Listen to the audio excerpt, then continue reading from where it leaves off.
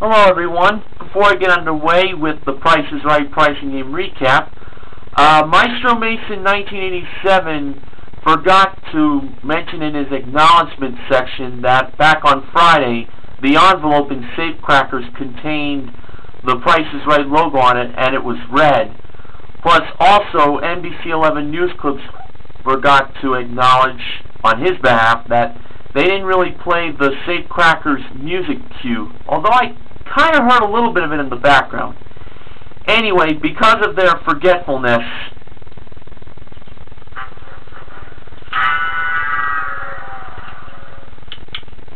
so that's all I wanted to bring to your attention. I will now move aside for the disclaimer.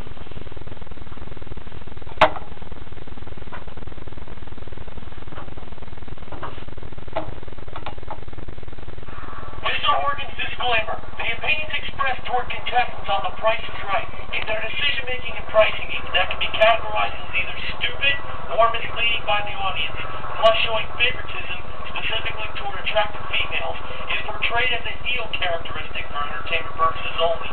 In actuality, no prejudice is shown toward the contestant based on their sex, their ethnicity, and their intelligence. And now it's time for the Price is Right pricing game recap for Monday, February 20th, 2012, President's Day. Today's pricing games played were the following to start the week. That's too much! One Wrong Price, Grocery Game, Secret X, More or Less, and Freeze Frame. The first contestant was Michael, who seemed to have complimented on the miles quite a lot. Good for him. anyway, uh, that married man played That's Too Much for a Toyota Camry LE modeled by Awesome Amber. He shouted the three words on the sixth price, $21,840. Was that the price that was just over the actual retail price of the car? No. He should have went two more times. The price that was too much was 24020 The actual retail price revealed by Amber, 23700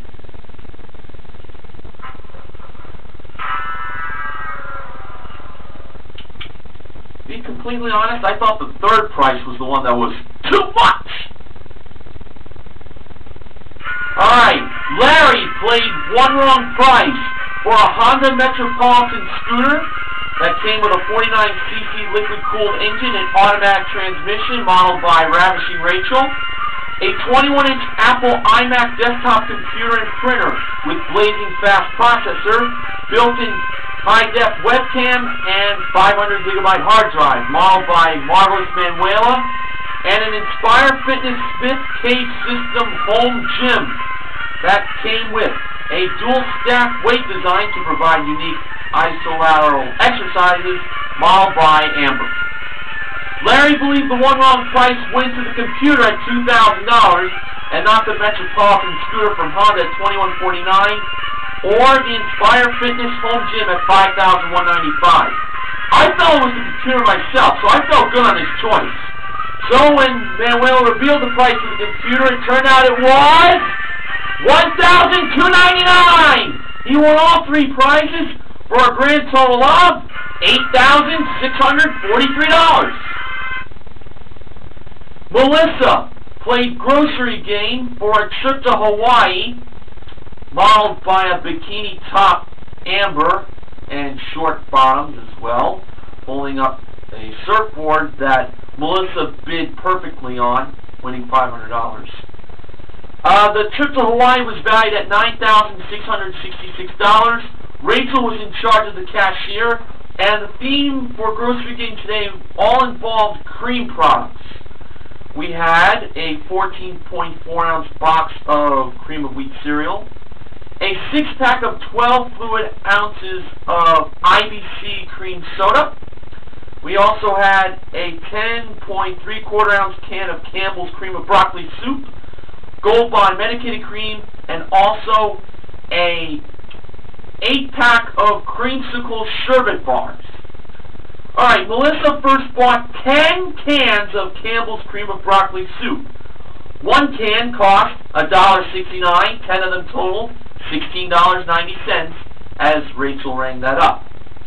So now she had to get between $3.10 and $4.10 to win.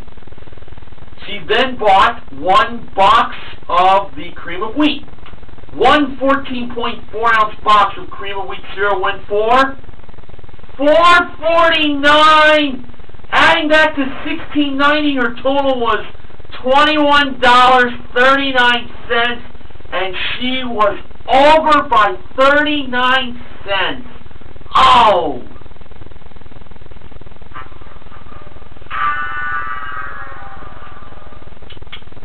Maestro Mason 1987 acknowledged that uh, Drew said that's too much when 2139 rang up. I honestly didn't catch that part, but if he caught that part, then bravo to him. Uh, also, NBC 11 News Clips acknowledged this to me. If Melissa had bought seven cans of the cream of broccoli soup and two boxes of cream of wheat cereal, she would have won. I believe the total would have been uh, twenty dollars sixty one cents or twenty one twenty excuse me twenty dollars sixty one cents or twenty dollars eighty one cents. One of those two totals. Moving on. Mercedes played Secret X for an eight-piece Howard Miller Total Home Ty Pennington Collection dining room group, along with Noritake Color Wave Graphite Dinnerware with service of eight accessory goblets from the Breeze Collection, and a one-year subscription to the Ice Cream of the Month Club from AmazingClubs.com. Modeled by Manuela, valued at $7,785. Mercedes placed her free X on the top right, and now she had a chance to earn two more X's. Amber modeled these two small prizes, a home soda maker and a hand-powered chopper. Mercedes believed the home soda maker was $200 and not $281. And Amber revealed the price to be $200. She placed her Earn X on the top left. Now, for the hand-powered chopper, she believed it was $50 and not $73. And Amber revealed the price to be $50. She got another X. She placed her second Earn X on the bottom right. So, in order for Mercedes to win, the Secret X had to be either in the top or in the middle. It was on the bottom, nope, couldn't win. And when Drew revealed where the Secret X was, it turned out to be the middle! She won! Alright!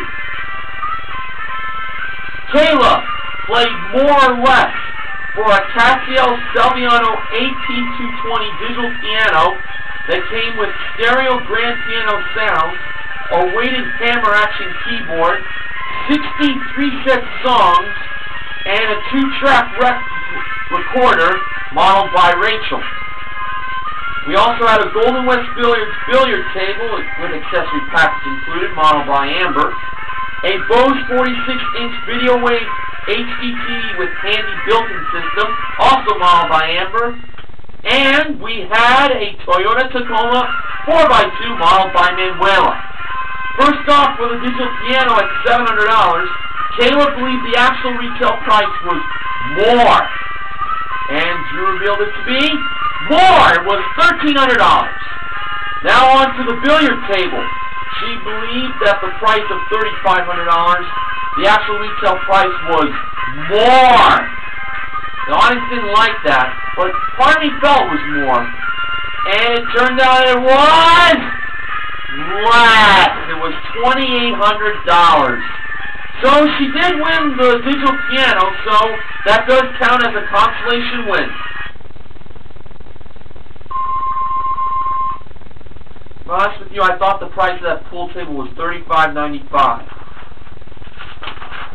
Finally, Danielle played freeze frame for a 30-inch gas range, a 25.1 cubic foot refrigerator, a 24-inch built-in dishwasher, and a super energy efficient front load washer and gas dryer. Drew mentioned that they were all from the Maytag company and they were all modeled by Manuela. Danielle froze the price inside the frame at $9,432. And the actual retail price was 5075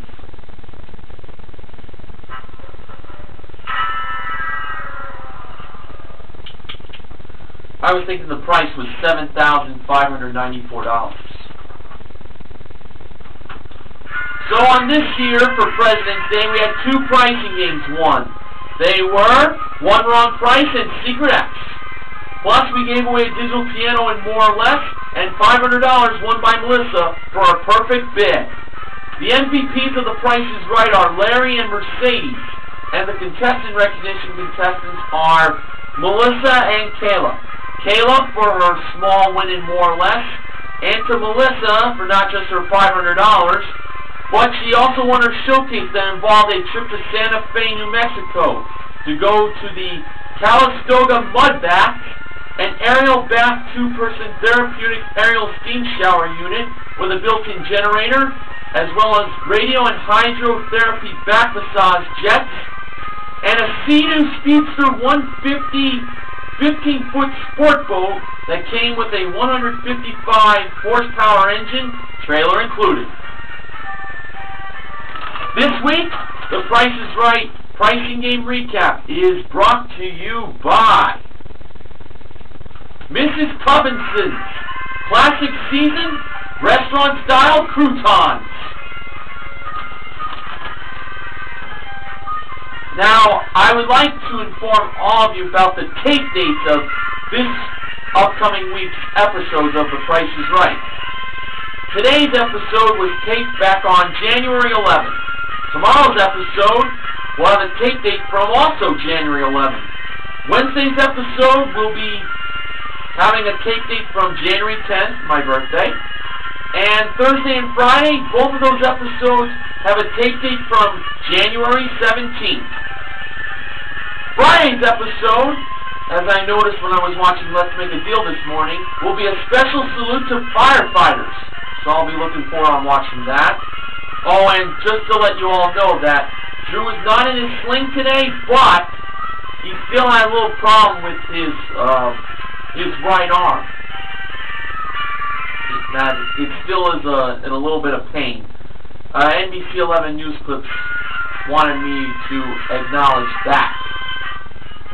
But, um, I'm sure Drew's arm is feeling okay right now, but we'll find out on, um, Thursday and Friday if he'll bring that up, because tomorrow's tape dates, I think he'll still mention about his arm being a little sore.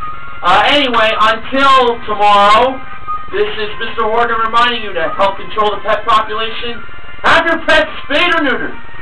See you all tomorrow for Mardi Gras.